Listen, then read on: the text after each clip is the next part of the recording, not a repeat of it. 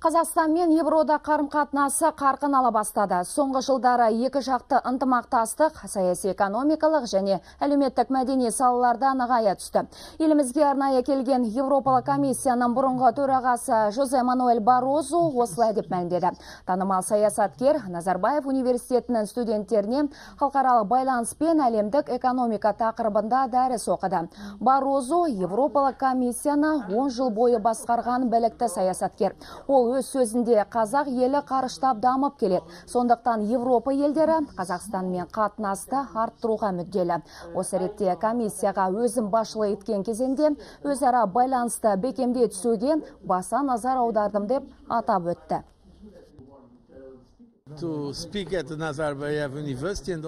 Мен қазақстанға келіп назарбаев университетінде дәріс оқығаныма қуаныштымын. Еуропалық комиссияға басшылық еткен 10 жыл ішінде қазақстанмен ынтымақтастықты нығайтуға күш салдым. Қазір елдер арасында қарым қатынас қарқын алды.